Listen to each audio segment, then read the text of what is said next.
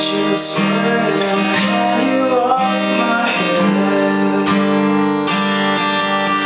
Your voice can splash you out through my